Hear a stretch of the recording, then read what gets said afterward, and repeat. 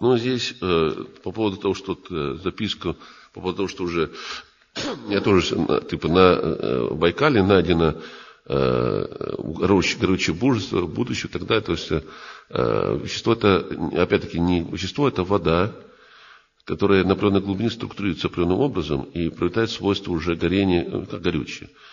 Естественно, что правильнее будет это никогда не использовать, Потому что существуют уже другие методы, которые более, э, как говорится, прогрессивные, и не нужно будет разрушать э, природу полностью когда-то дальше. То есть зачем, э, если можно эту же воду получать структурированные уже другие способы. И существуют гораздо более эффективные способы, когда не нужно вообще никакого топлива для того, чтобы перемещаться в пространстве. Это вообще экологически чистые.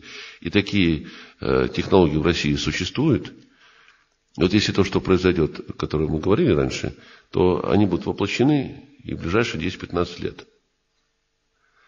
Так что, с моей точки зрения, гробить э, озеро Байкал не нужно, потому что тоже не решить проблему. Заберут ту э, конструктурную воду, которая действует, становится горючим на глубине определенном. И что?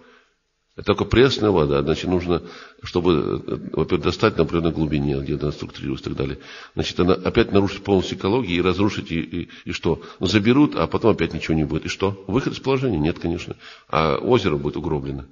Так что нужно по-другому действовать, но опять-таки тогда, когда э, будут воплощены технологии, которые разработаны э, в России есть, и если их внедрить, то все будет в порядке.